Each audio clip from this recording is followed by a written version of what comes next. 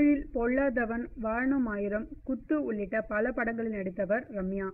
கன்னடத்திலும் முன்னணி நடிகையாக உள்ளார். இவர் காங்கிரஸ் கட்சியில் இணைந்து கர்நாடக மாநிலம் மாண்டியா பாராளுமன்ற தொகுதி இடைத்தேர்தலில் போட்டியிட்டு வென்றார். இதனையடுத்து அரசியல் பணியில் தீவிரம் காட்டினார்.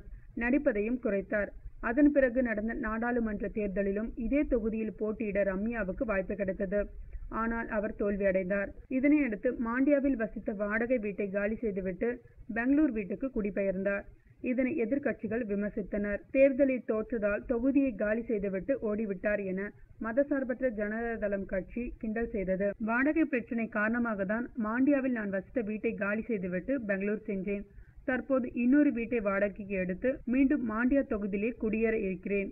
நான் அரசியலை விட்டு தொகுதியை விட்டு ஓட மாட்டேன் தொடர்ந்து மக்களுக்கு தொண்டு செய்வேன். எனக்கு எதிராக சிலர் பொய்யான வதந்திகளை பரப்பி வருகின்றனர் என கூறியுள்ளார்.